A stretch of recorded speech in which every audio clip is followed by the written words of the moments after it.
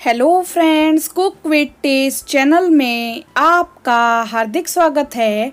आज हम बनाएँगे राजमा। राजमा तो फ्रेंड्स सभी को पसंद आते हैं। ये बच्चों और बड़ों सभी के फेवरेट होते हैं। मैंने इसे बॉइल्ड राइस के साथ सर्व किया है। खिले खिले बॉइल्ड राइस की रेसिपी आप हमारे चैनल पर देख सकते हैं। तो आइए बनाते हैं टेस्टी एंड डिलीशियस राजमा इसके लिए हम आधा गिलास ये मैंने राजमा लिए हैं। राजमा को हम दो से तीन बार पानी से अच्छे से धोएँगे और चार से पाँच घंटे के लिए हम इसे भिगो कर रख देंगे।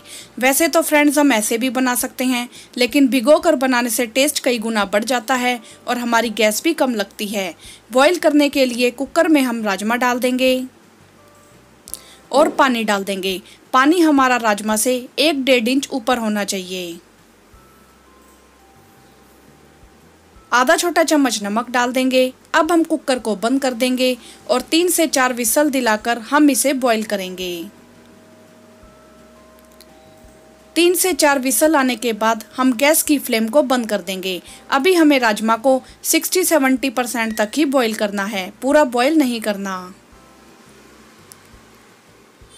ये देखिए फ्रेंड्स राजमा हमारे लगभग 70 परसेंट तक बॉईल हो गए हैं। बाकी हम बाद में बॉईल करेंगे। अब हम इसे तड़का लगाएँगे। तड़का लगाने के लिए कढ़ाई में कुकिंग ऑयल डालेंगे। ऑयल जैसे ही गर्म हो जाए, हम इसमें एक तेज पत्ता डाल देंगे।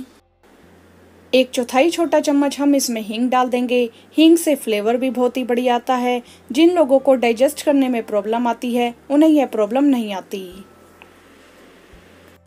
और एक छोटा चम्मच जीरा डाल देंगे और जीरे को अच्छे से चटकने देंगे।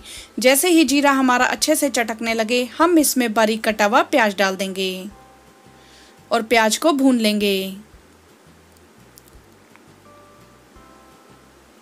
ये देखिए फ्रेंड्स, प्याज हमारे सॉफ्ट हो गए हैं। इस स्टेज पर हम एक चम्मच अदरक और लहसुन का पेस्ट डालेंगे।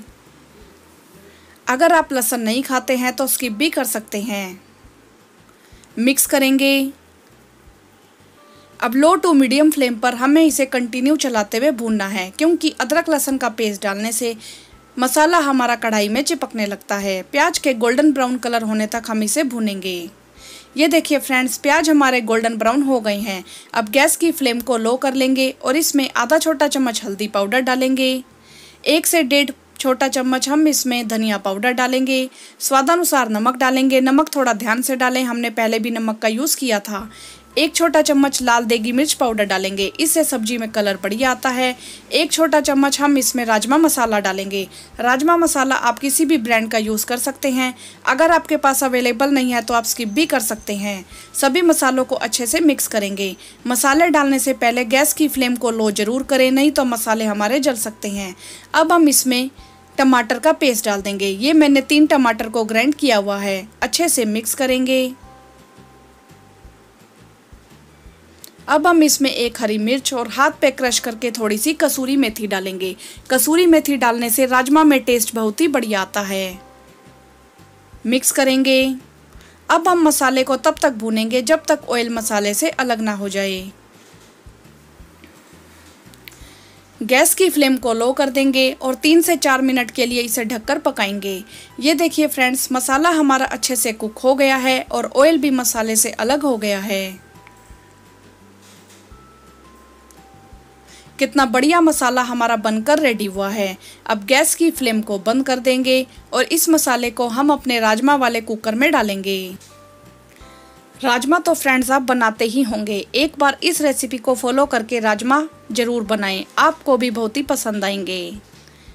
अब हम इसे मिक्स कर देंगे।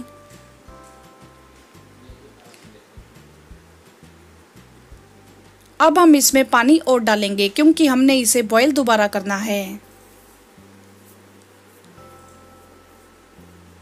ये मैंने उसी तड़के वाली कढ़ाई में ही पानी मिलाकर मिक्स किया है ताकि हमारा तड़के वाला मसाला वेस्ट ना हो। अब हम कुकर को बंद कर देंगे और एक विसल आने के बाद 15 से 20 मिनट के लिए इसे लो फ्लेम पर पकाएँगे। लो फ्लेम पर पकाने से राजमा बहुत ही टेस्टी बनते हैं। ये देखिए फ्रेंड्स कुकर हमारा ठंडा हो गया है। राजमा हमारा बनकर रेडी है। बहुत ही बढ़िया खुशबू आ रही है। बहुत ही टेस्टी राजमा हमारे बने हैं। अब हम इसमें आधा छोटा चम्मच गरम मसाला डाल देंगे और बारीक कटा हुआ हरा धनिया डाल देंगे। मिक्स कर देंगे।